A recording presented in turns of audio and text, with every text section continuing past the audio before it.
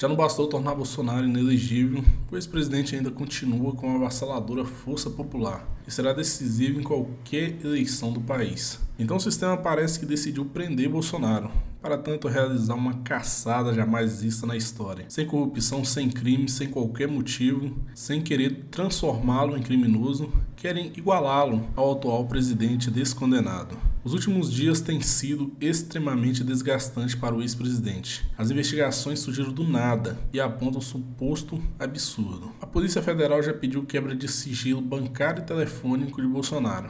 Porém, o que eles não contavam era uma atitude inusitada de coragem de Bolsonaro. Ele já colocou o sigilo bancário à disposição sem mesmo a justiça precisar decidir. Um verdadeiro balde de água fria nas narrativas. A caçada ao ex-presidente está sendo cruel.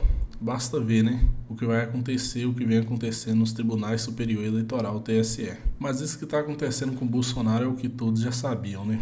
Todos sabiam. Se Bolsonaro perdesse as eleições, é, certamente eles não permitiriam que Bolsonaro disputasse as eleições novamente, né? Esse era o plano do sistema o tempo todo, né?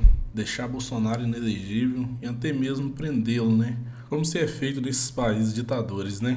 É, o ditador ganhou, caça logo seu oponente e manda prendê-lo ou busca provas contra ele. É o que tem acontecido aí com Jair Bolsonaro, mas Jair Bolsonaro tem se colocado à disposição aí, porque não tem nada a temer, né? Esse foi o nosso vídeo, se você gostou não esqueça de deixar o seu like, se inscrever no canal e ativar as notificações.